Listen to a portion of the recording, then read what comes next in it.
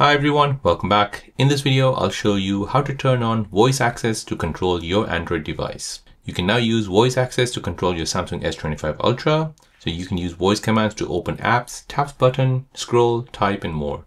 So currently this is only available in English, French, Italian, German, and Spanish.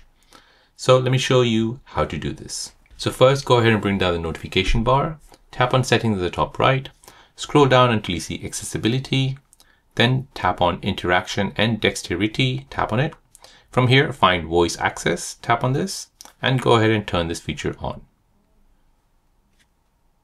Allow it. Go ahead and follow this voice access tutorial. You can go ahead and read what you have to say. And there you go guys, that is how to turn on voice access on your Samsung S25 Ultra.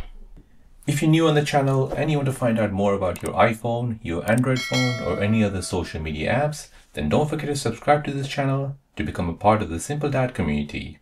Hit the like button if you find this video useful.